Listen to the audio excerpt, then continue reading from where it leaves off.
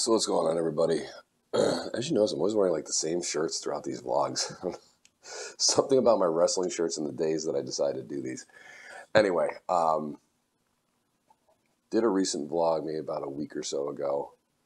And I'm trying to keep pace, especially as we're getting close to show. So I'm officially, as of this Saturday, which would be July 16th. Today's July 14th.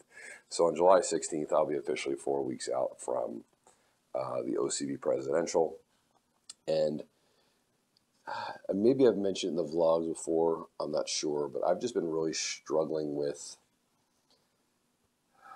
where I need to be for this contest prep in terms of what's the look we're aiming for. And that's been an ongoing conversation between my coach and myself, along with looking at the types of competitors that are winning shows. So,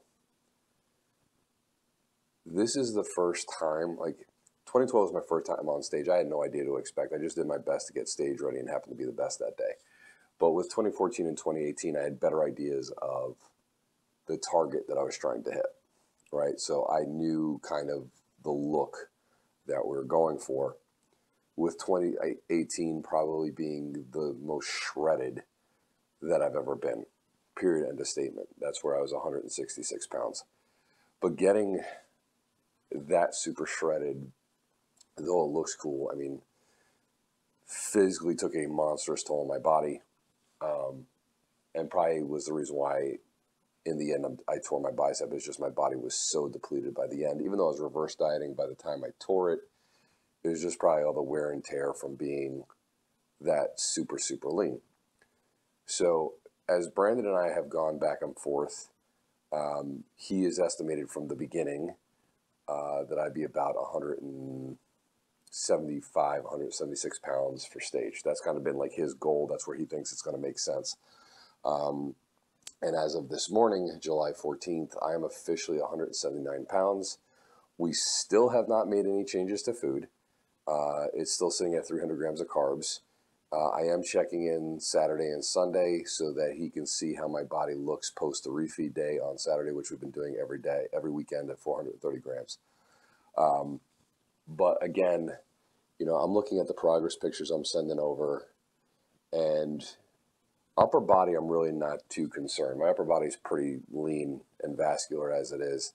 It's more my concern of where my legs need to be. And I always have to be careful because my legs get catabolized very quickly as I start to get leaner.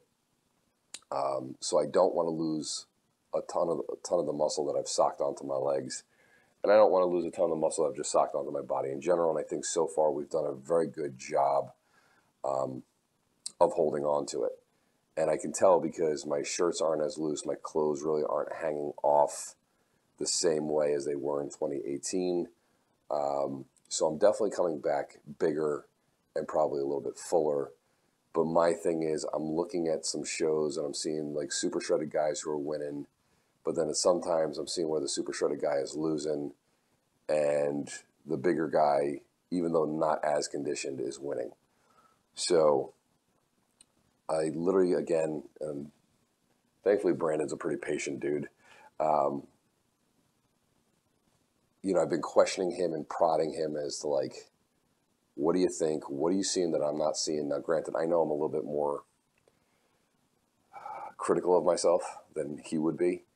Um, and as a coach, he knows what he's looking at. Don't get me wrong, but I'm just very, very critical of myself. And this entire prep, I just don't feel like I've usually I'm more confident.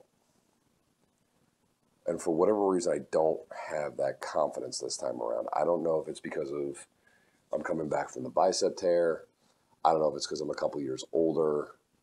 I don't know if it's because I'm doing larger shows, understand that the competition is going to be way, way higher. I don't know. It's just me, it's a combination of a bunch of things. I can't really put my finger on it, but the minute I started this prep, if you watch the first vlogs, I got like really nervous. And then I kind of got into a stride, like, okay, caught my caught my wind here, got my legs underneath me, started to move along the prep, no problem. And now we're four weeks out from show, and I'm starting to question myself again. Um, of whether I'm good enough, whether I'm ready enough. And, and granted, a lot of this, no matter what's going to depend on the competitors that show up, how good they are at their posing, um, and then again, what that particular judging panel decides to do. This is the hard part with this this type of competition is it's so subjective. Even though they have somewhat of a criteria they're work, looking for, you don't know what the judges are going to do that day. So I messaged Brandon and was like, "Are you sure we're going to be ready for this show?" And again, we have to be careful because I'm doing several large shows, several weeks apart. To perfectly peak is going to be very hard, and I stand to lose more muscle between now and Mr. America if I start getting too lean and then try to hold that, right? So my issue is is that I'm a perfectionist when it comes to this kind of stuff. I want to be considered elite. I want to always present myself well. Um, and I don't want to embarrass myself on stage. It's not who I am. It's not what I like to do. I take every competition seriously.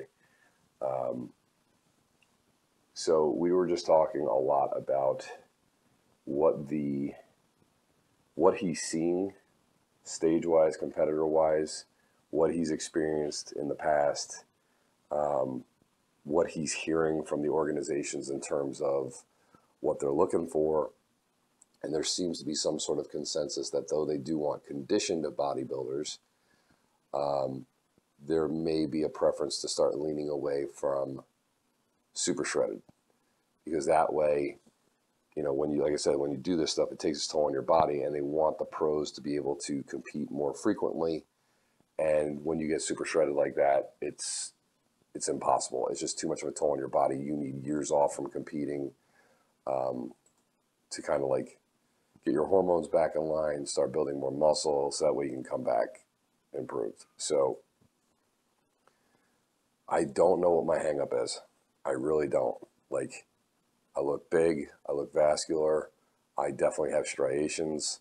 Um, my glutes aren't completely in, but there is striation, especially on the side poses. Um, my quads have separation in them, even though I'd like more, but we should see that in the next four pounds or so. Uh, and my hamstrings are kind of poking through too, but maybe just not to the level that I was anticipating. So we literally spent 40 minutes on the phone and just discussed all this, which he did not have to do. Um, so I thank him for that. But again, I just, it's a confidence thing. I just, I don't feel confident for some reason. I don't know why that is. I got to get out of my own head. But I wanted to be honest on that one. Usually I'm way more confident. Right now I'm just, I don't know. It's a, I have a weird, it's almost like a weird indifference like I'm not. I want to compete.